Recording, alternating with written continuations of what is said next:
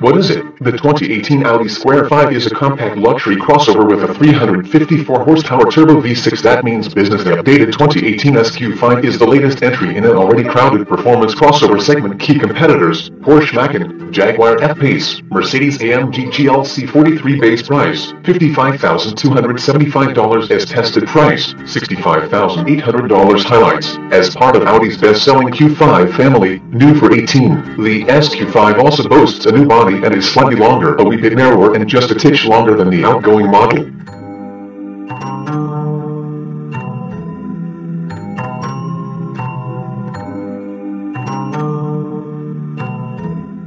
The interior is new as is the suspension and there's a new turbo V6, replacing the outgoing supercharged V6, with roughly the same horsepower and a bit more torque, but saving weight and getting better mileage besides. I disagree strongly I think the SQ5 looks just fine. If a bit conservative it's about the same size as competitors such as the BMW X3 and Mercedes-Benz GLC, and a little smaller than Jaguar's F-Pace the SQ5 has Audi's S-Line styling touches such as the platinum grey grille, standard LED headlights, a rear roof spoiler, and the like.